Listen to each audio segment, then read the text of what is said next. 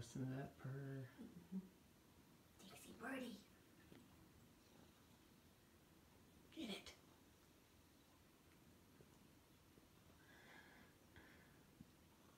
She loves this.